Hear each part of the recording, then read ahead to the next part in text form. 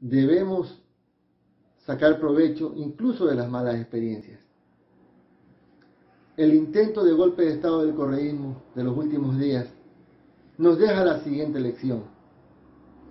Nunca más los ecuatorianos debemos permitir que un pequeño grupo de personas, con la ayuda de expertos extranjeros en, en guerra urbana, puedan caotizar el país, puedan dejar ciudades sin agua, puedan destruir las ciudades patrimoniales.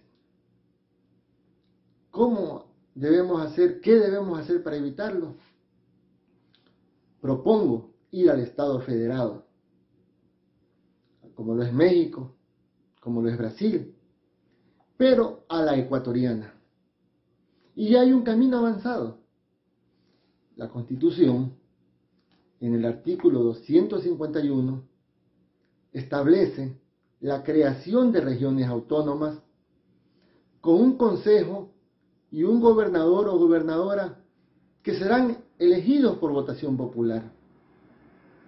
El artículo 262 de la Constitución establece las competencias para las regiones autónomas, entre las que están el desarrollo de tecnologías o transferencias tecnológicas, asegurar la soberanía alimentaria, el desarrollo productivo, el desarrollo de las cuencas hidrográficas, incluso permite contar con asesoría extranjera para esto.